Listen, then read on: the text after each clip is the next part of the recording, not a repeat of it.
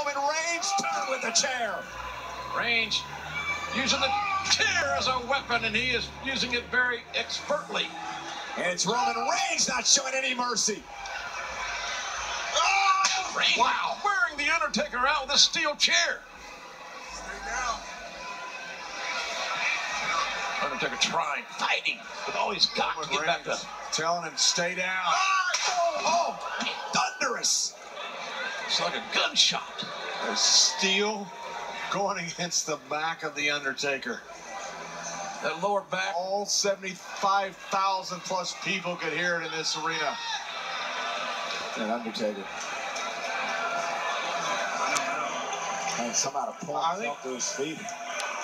Taker trying to pull himself back up to fight back into such his heart. As Roman Reigns is incredulous to the fact that The Undertaker keeps getting up.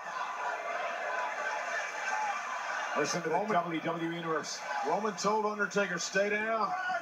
And oh, wow, a spear